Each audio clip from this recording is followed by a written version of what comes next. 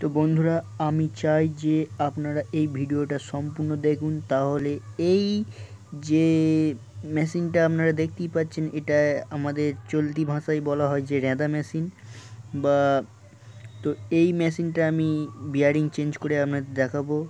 তো আপনারা ধৈর্য সহকারে দেখতে থাকুন। একটু ভিডিওটা লম্বা হয়ে যেতে পারে।